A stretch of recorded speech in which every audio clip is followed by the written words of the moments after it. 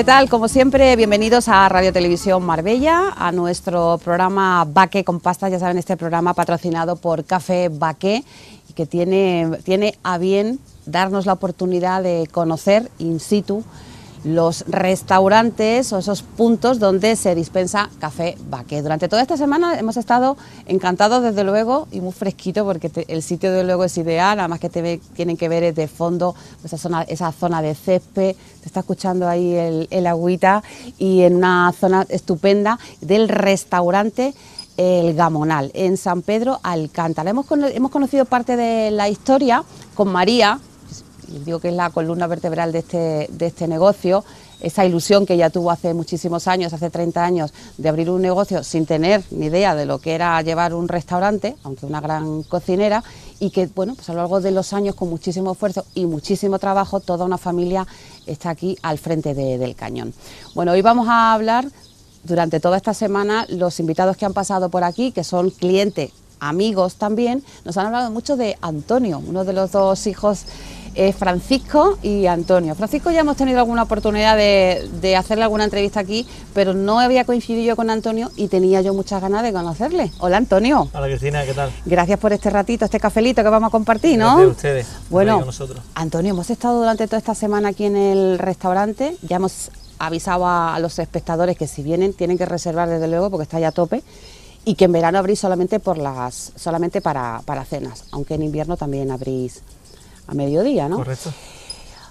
Cuéntanos un poquito esta historia, tu madre nos ha contado parte de la historia, hace la de tu abuelo, que todo esto, eh, todo este, toda esta parcela era tu abuelo, que la repartió entre, entre los hijos, y tu madre la ilusión de, tenía, de tener un montar un restaurante. Y yo te digo, tú tenías muchas papeletas para llevar este negocio. Que va, que va.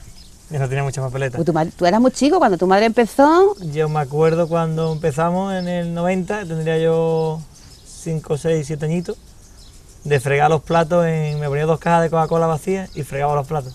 ¿Ayudabas en casa?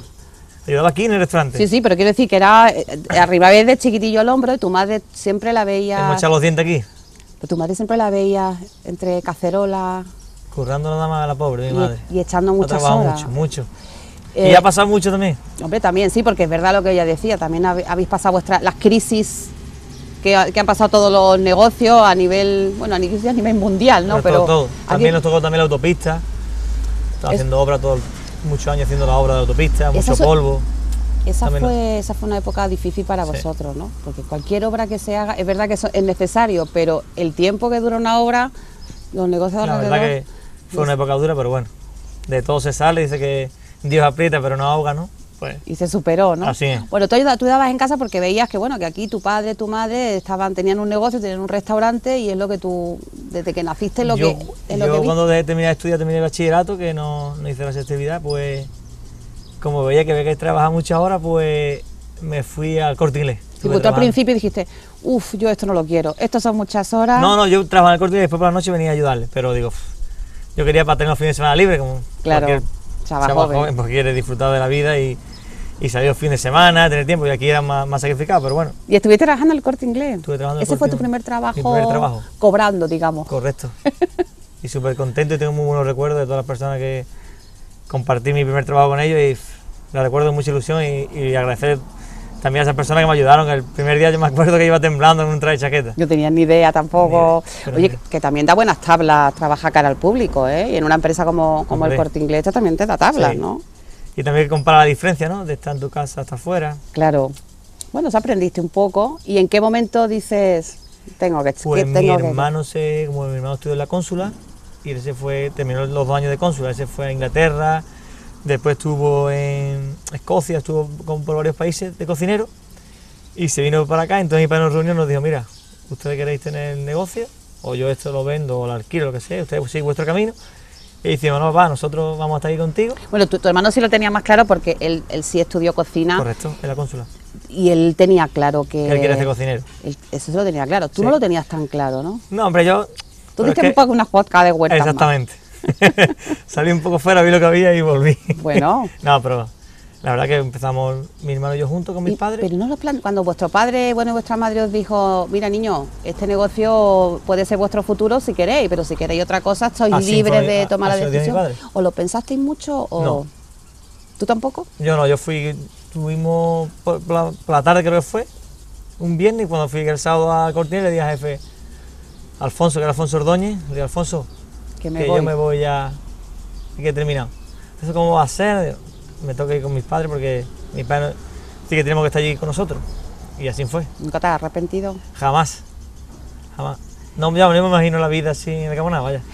Antonio, ¿qué, has qué crees tú que has aportado a- al restaurante? Porque es verdad que está muy claro un poco el, el papel de, de cada uno, ¿no? Tu madre un poco la parte de cocina, tu hermano que le ha seguido los pasos y que además que se ha formado para ello, tu padre un poco para todo, Yo padre... soy más la parte de juventud, relaciones públicas, me relaciono mucho con la gente, eso es parte de, la empresa. Todo el mundo te conoce. Me conoce todo el mundo, todo el mundo. Además- Para lo bueno, para lo malo, pero me conoce todo el mundo. Bueno, para lo bueno, para lo bueno. Bueno, han pasado por aquí eh, durante toda la semana clientes, por supuesto, muchos de ellos dicen, yo es que lo conozco de toda la vida, Sí. y- Israel, por ejemplo, Claro. que eh, no sé si es de tu quinta más o Sí, menos. eh, dos años más pequeño que yo. Israel, bueno, Inocencio. También.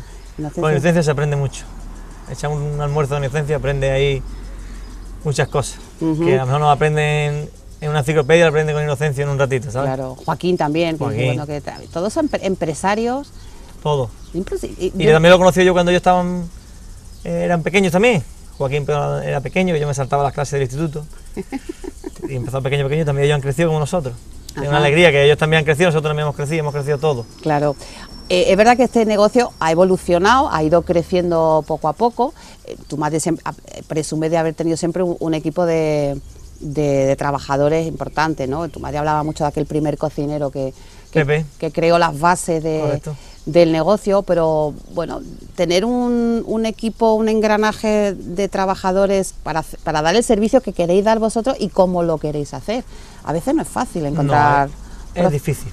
Pero yo la verdad que me siento muy orgulloso de lo- de las personas que trabajan conmigo y si ellos no estuvieran tampoco sería posible el éxito de Gamonal sin ellos. No solo porque nosotros estemos aquí, no. Nosotros debemos estar, nosotros estamos 24 horas, eso está claro. Porque dice que, que le duele la muela al que se la saca y nadie de fuera va a venir a... a sacarte las castañas del fuego. Pero ¿no? yo estoy súper orgulloso del equipo que tengo y me estamos echando mucha hora, pero sin ellos tampoco tendríamos el éxito que, que tenemos ahora mismo. Tu hermano está en cocina y tú Yo estás fuera. y tú estás, estás fuera. ¿El trato al público te gusta? Me encanta. ¿Mm? Me encanta. Y Trato de a toda la gente. Aunque es más difícil, ¿no? Yo siempre digo que. podría quedar la cara, el que tiene que dar. Siempre, siempre mm, discuto, no discuto. Tengo con mi hermano los piques de cachondeo y yo siempre le digo que el, que, el que no valía para llevar platos lo ponía a freír huevo, ¿no? Entonces pone un mosqueo. Pero también te digo otra cosa. Yo soy de la opinión, mi hermano no está de acuerdo conmigo. Si tú vas a un restaurante y comes mal, pero los que están fuera te tratan bien, es simpático, yo pienso que le puedes dar la segunda oportunidad. Salva, sí. Pero si tú de fuera es súper simpática, pero la comida está mal, yo creo que no vuelve. Claro. Bueno, yo creo que es ahí el equipo, ¿eh? Es el tándem, Sí. ¿no? Eh, Esas son la- las dos patas mm, más importantes, aunque vosotros yo creo que cumplís todo, ¿no? Porque Bueno, es una muy buena siempre tenemos, siempre hay, siempre hay que cosas que mejorar, siempre, siempre. Vale, es muy difícil. Hoy en día es más fácil, pues un- una mijita de nada, te machaca o te llega un día y para recuperar tu ese, pues. Bueno. Es un mundo. Antonio, eso pasa en todos los negocios. Mira, me, contaba Israel, ¿no? El tema que lleva el tema de, de hierro y aluminio y todo eso. O Inocencio también trabajando con, a un nivel muy alto. Eso, mantener siempre el tipo. Es muy difícil. No es, no es fácil, no es Muy fácil, difícil. ¿no? Eh, aquí yo no sé cuántas, cuántos cubiertos podéis llegar a dar. Sin bodas ni nada, sin extras de estos. ¿eh? No, eh, en las noches 130, 140, 150 en agosto. Y ahora por las noches, pues 60, 70, 80, depende del fin de semana más. Sí. Tampoco, tampoco quiero, eh, por ejemplo, el- cuando llega el mes de, a partir del 15 de julio, el 15 de agosto, no quiero Saturar. dar 250 cenas, no. Yo doy lo que pueda, lo que yo sé dónde puedo llegar. Hombre, puede llegar un día que tenga que esperar un poquito porque han entrado las 30 mesas a la venta, es normal. Pero yo no quiero dar hasta donde llego y ahí no me, no me paro. No le puedo dar mesa, venga usted mañana, venga pasado. El hecho de que ahora ya un poco lleváis las riendas, bueno, un poco no, lleváis vosotros las riendas, que tu madre y tu padre, por supuesto, esto- eh, están ahí. ¿Habéis cambiado también un poco el, el concepto? Porque, por ejemplo, no sé si el tema de pues, la música en directo, la iluminación por la noche, en fin, le, le habéis dado como otro... Siempre mi hermano y yo le intentamos dar un toquecito, pero siempre respetando lo de antes. La filosofía del gamonal, ¿no? Correcto. No, no, siempre respetando lo de antes, con la comida igual, siempre respetando lo antiguo, que siempre le damos unas pinceladitas de cositas, sí, pero siempre respetando la línea que nos ha ido siempre bien y que si una cosa va bien, no hay que por qué... No hay que cambiarla, ¿no? Exactamente. Pero no, ya- tampoco seguir así a morirte, no, ir cambiando, pero siempre siguiendo la misma línea. Bueno, a la hora de vender los platos también es muy importante, tú dices, Hombre. y sobre todo saber lo que uno está vendiendo, ¿no? Correcto. Tu madre presume tener muy buenos proveedores de carne Sí. y de pescado, esa parrilla que os trajiste y, y que habéis adaptado y que solamente hay dos en España. Sí, ahora mismo solo hay dos. ¿Qué tiene de especial esa parrilla? Eh, eh, la hizo mi hermano a, a medida a su gusto. En un lado puso la carne, en otro lado puso el pescado. Eh, hacemos pescado a la brasa en leña o en, o en carbón, como quiera. Y se y va girando, tiene un torno, va girando, el pescado va haciéndose y la carne se queda al carbón, un carbón que tenemos también Eso está ahí ahí abajo. cara al público, Sí, ¿no? sí, sí, la- tú estás cenando y estás viendo, haciéndote la carne o el pescado. Sí. Eso es fundamental. ¿Y por qué hay dos solamente en España? Principalmente porque es, es cara, es una empresa muy, muy buena, pero es bastante cara. Y mi hermano fuimos una vez a un restaurante de, de Madrid, vimos una parecida, preguntamos y ya después fuimos otra vez a Madrid con mi padre y se nos encaprichó, que yo recuerdo que después cuando venimos aquí y tuvimos, tuvimos que llamar a Puya para descargar la, la parrilla, mi madre estuvo como tres días sin hablarnos, Porque pensaba que había hecho una locura, ¿no? porque era un dineral, porque, ¿sabes? Pero es una inversión para el negocio Sí. que ha resultado. Sí, la verdad que estamos súper contentos. Todo el mundo habla de, de Sí. vosotros. Oye, organizar aquí una boda. Yo sé, pues si acaso un día me da por. Eso es muy fácil. Tenéis eh, como lo que buscan la- estas parejitas que vienen a, a Pues, casarse. En busca de cenar al aire libre y después tenemos la zona de chilao que es donde estamos, un cóctel, un aperitivito. Después cenamos a la- al aire libre, después tengo una zona que está cristalada para la música para que no salga mucho el ruido. Tenéis una carpa también Sí. preparada, ¿no? Sí. Pero la carpa no pongo la música, la pongo en una zona cristalada para que no moleste a, a los vecinos y eso, que, que a ellos también les molesta porque también a las 12 de la noche, 12 y cuarto, los novios van a pasar para adentro, ponen una canción y yo siempre pues les pido disculpas a todos los vecinos que tengo porque Pero te- se- ellos aguantan también bastante de mí, de la música y todo eso. Yo siempre les pido disculpas a ellos porque a las 12 de la noche, 12 y cuarto, 12 y media ponen un vídeo, los viva los novios.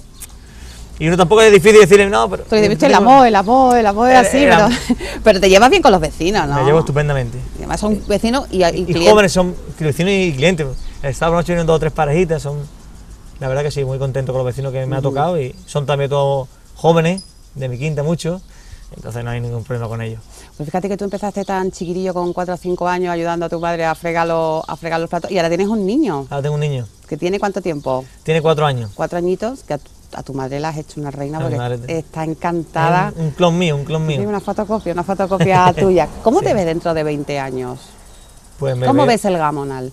Veo pues Gamoná pues con una pizquita de un poquito más moderno, que aquí lo que pasa es que todo vale mucho dinero, no se puede hacer todas las cosas, porque la gente piensa, yo cuando la gente pasa, ah, está lleno, usted sabe la pila de gasto que tiene un negocio Mucha inversión, ¿eh? mucho, cuando no se rompe un horno, la máquina de cortar césped, cuando no hay que pintar, cuando no...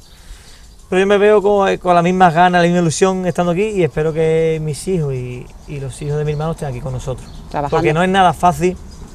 Nosotros la verdad que me llevo fantástico con mi hermano con, y, y mi padre siempre dice que lo último que él tendría que ver es que los dos hermanos se, se separaran, ¿no?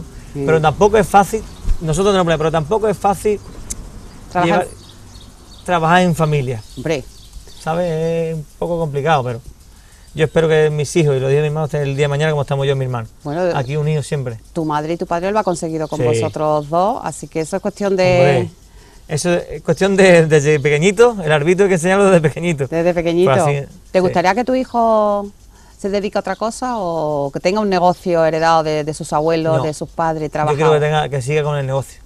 ¿Te gustaría, no? Sí. Tú como los toreros, ¿no? Quiero que mi hijo Es sea un- torero. Hombre, la ilusión de ver a...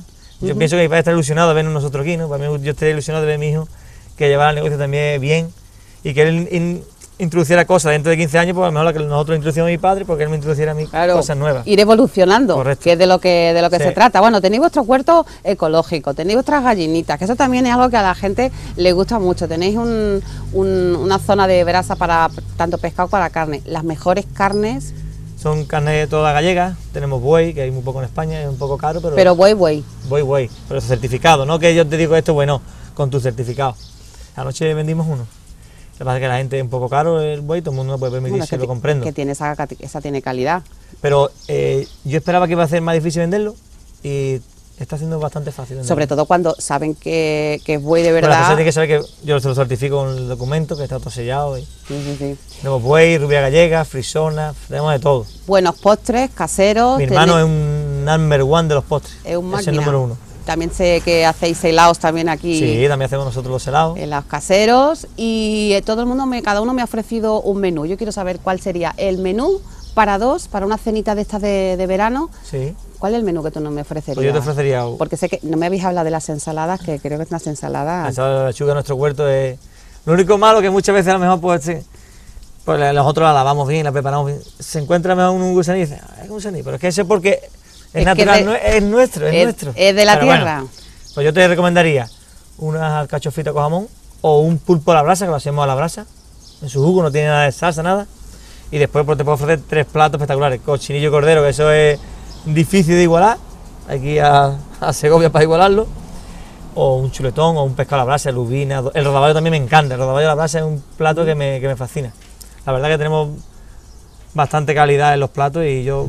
La lasaña, la burrata me encanta. Una lasaña que hace mi hermano también está espectacular. Qué bueno. Que es para vegetarianos, me encanta. Y un postre. Y un postre, el saquito de avellana, el, el postre estrella del gamonal de toda la vida. ¿Saquito Aunque de avellana? Mi, hermano siempre, me lo- a veces me lo quita de la carta, a veces no, digo, ese, ese es el, Eso el ya postre es- estrella del gamonal lleva ya 15 años de que estoy aquí con Saquito, él. ¿eh? Saquito. Saquito de avellana. Es un saquito que lleva por dentro chocolate y avellana, es espectacular. Eso me apunto. Y ya para terminar, un cafelito. Hombre, ¿para qué no? es la mejor café que hay ahora mismo en toda España.